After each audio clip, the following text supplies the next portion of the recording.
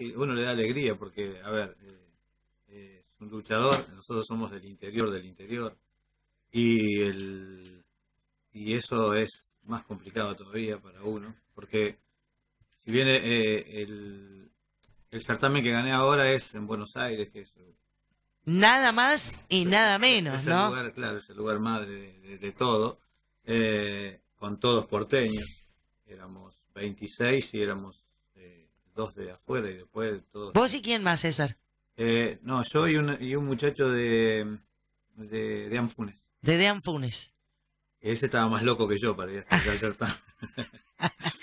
y bueno, y el certamen eh, estaba bueno porque bueno eh, te da la posibilidad de trabajar en las mejores casas de tango en Buenos Aires si lo ganás. Sí. O sea, el Homero Mansi, el Café Tortoni, eh, qué sé yo, eh, Catedral Tango, donde canté un mes completo. Eh, y la difusión en las radios y algunos medios televisivos. O sea, a ver, significa explotar y que conozcan tu voz. Claro, así es. Eso es... Si bien, y ahí nomás, eh, a ver, en el, cer- el certamen mismo, pierdas o ganes, eh, pasaba eso. ¿Por qué? Porque, a ver, eh, todo el- el- eh, los jurados eran reconocidos. que estaba Ricardo Marín, Daniel Olivera, eh, estuvo Carlos Morel, eh, eh, Silvia Nieves, bueno, una, una cantidad porque en cada, en cada, en cada gala era uno distinto, o sea, eran tres distintos. Así que pasaron 12 jurados por, el- por, el, por el certamen, que también es interesante porque no todos tienen la misma visión del, del tango o de lo que canta uno, ¿no? Entonces, eh, eso también estuvo bueno. ¿Qué, qué elegiste para concursar? No, poquito elegí porque me elegían ellos. Bueno, pero que El ¿quién primer, eh, el primer eh, o sea, eran cuatro galas. El primero requería, era tango, el segundo vals, el tercero milonga y en la final tango. En la primera me tocó eh, hacer el último round, en la segunda me tocó, yo mandaba tres opciones y ellos elegían. Ellos elegían. Bueno, de última también eran tus tres opciones. Sí, Cualquiera sí, sí. de los tres que eligieran era Claro, pero- algo que a vos te, te representaba. Porque muchas veces Sí, la gente no valora lo que es elegir el repertorio. Seguro. Y eso habla del artista también. Sí, también, seguro que sí. Lo que sí, eh, lo que yo estaba medio fuera de estado era el tema de la milonga, por ejemplo, porque no, no soy... No es lo que más... No, en mis shows eh, no, no hago milongas, que bueno, ahora lo voy a implementar también, ¿no? ¿Y te gustó? Sí, estaba buena, está buena, porque aparte elegí una milonga no conocida, difícil, y a mí me gustan esas cosas así. Son desafíos personales. Claro, también, también. Entonces, bueno, ahí, y aparte era a la parrilla, como dicen allá, que eran los músicos en vivo, eh, vos llegabas y dabas, hacías un minuto de ensayo. Nada. Y, al- nada.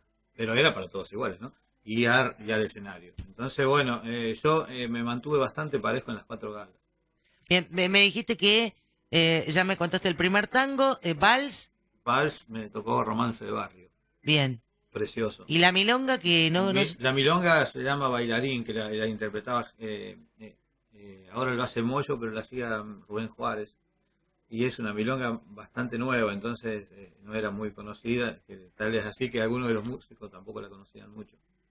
Que fue por eso fue bastante complicada, ¿no? ¿Y, y cuál fue el tango final? El final fueron los mareados.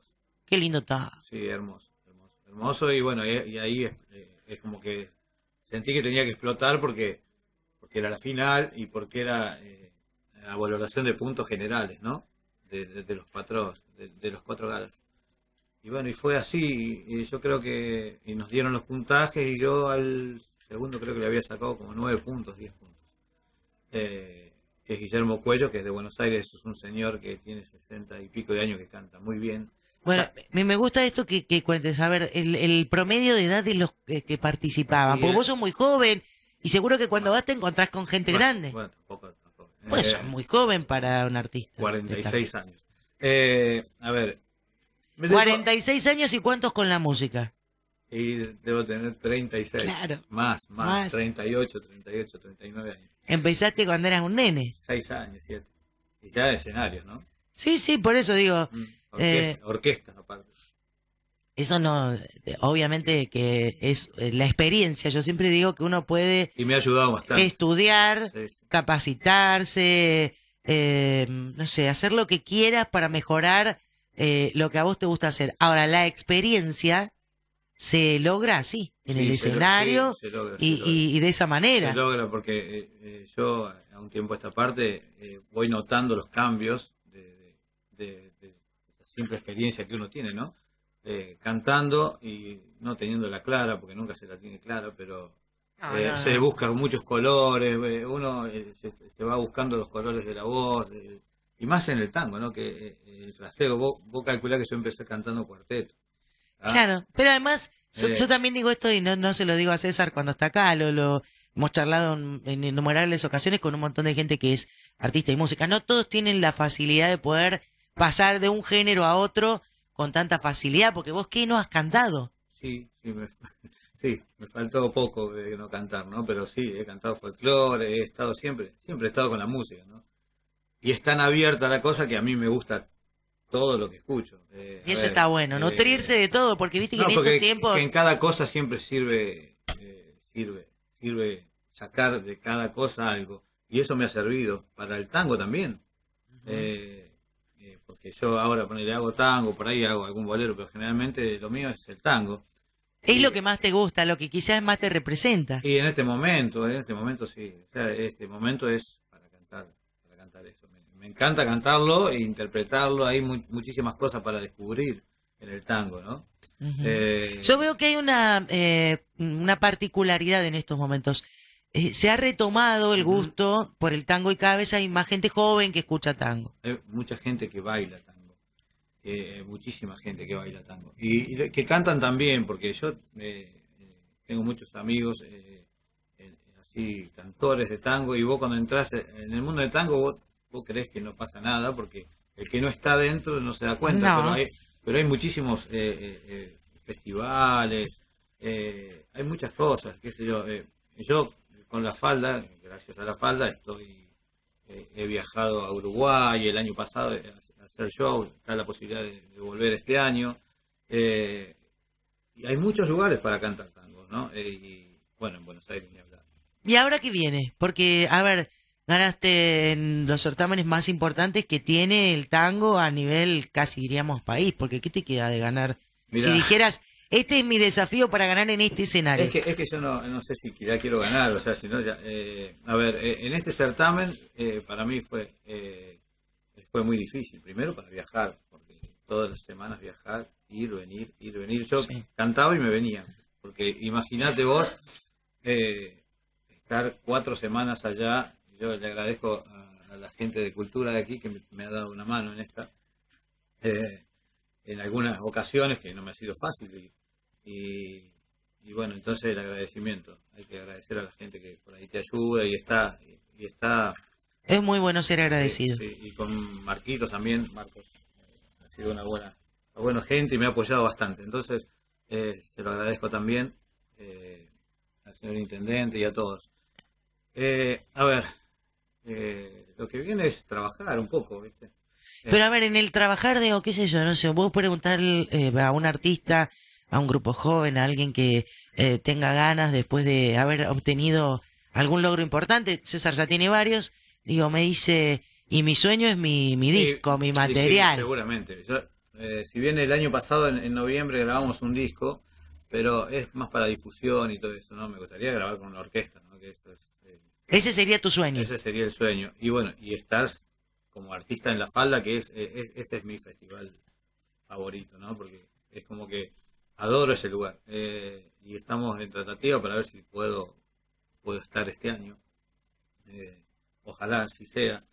Eh, tengo la posibilidad también eh, ahora en junio de viajar a Medellín, que todavía estoy ahí para representar la provincia en el Festival Internacional de Tango de Medellín, que se hace en el aeropuerto donde muere Gardel eh, Exactamente. todos los años. Y bueno, está, está latente, todavía no está nada confirmado, pero bueno, estamos eh, trabajando para eso también. Sueños y metas hay muchas, ¿no es cierto?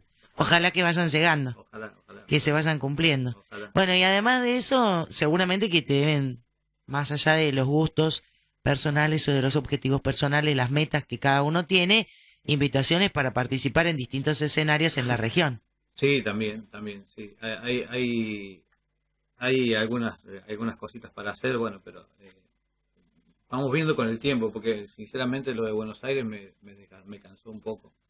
No, no, si bien no me desgastó, me cansó en el sentido de los viajes, de ir toda la semana. ir, Y sí, no, no, y además es otro ritmo, otra vida, Sí, otro y lugar. volver en un día, viste, aparte. Sí, no, aparte. Eh, aparte. Eh, y bueno, y ahora en junio está la, eh, a ver, eh, en junio yo, al ser el ganador, tengo que ir a trabajar a Catedral Tango, tengo que ir a, a Romero Mansi, a, a Quintino y creo que a Tortoni, que son dos o tres, es- eh, esas casas se hacen, allá se trabaja de una forma, eh, son cinco tangos y te vas a la otra casa, cinco tangos y te, y te vas a la Claro, claro. es, es en una noche tenés que hacer todos los shows, ¿te das cuenta?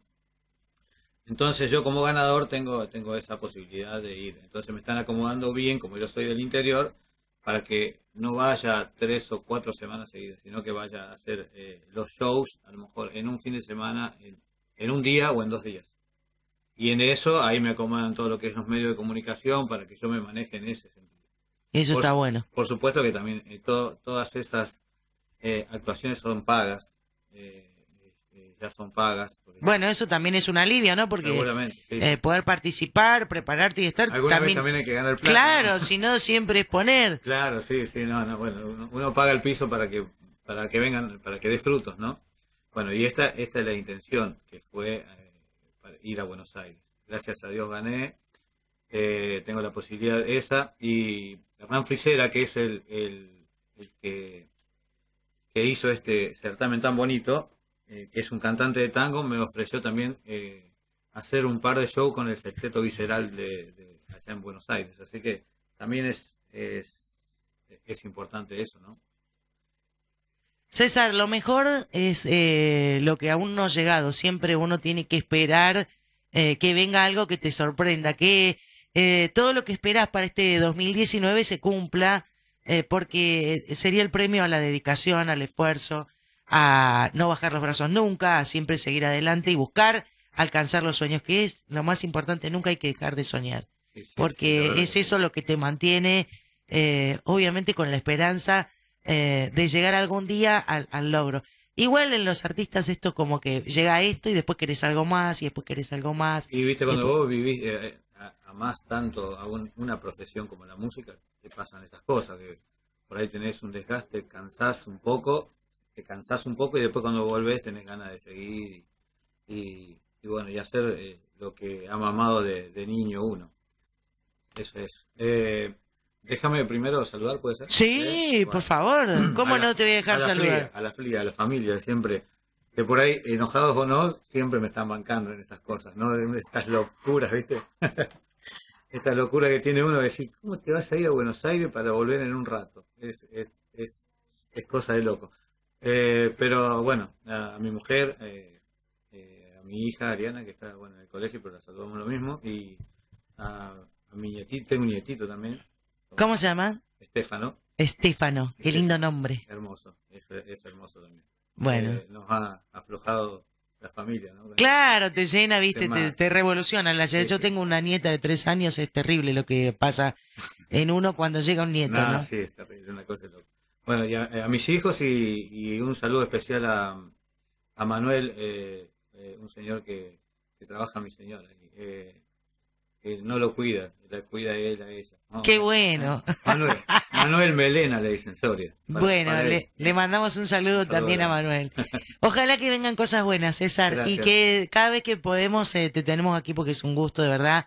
Es un orgullo que eh, representes a la ciudad de Marcos Bueno. Antes dije General Roca porque si no la gente se enoja, dice. Sí, sí, Y es un poco nuestro también. Claro, siempre hemos, eh, también nos han dado una mano por ahí, también en otros tiempos, y, y se lo agradezco a, a- también al intendente Roca también, que ha sido buena gente conmigo.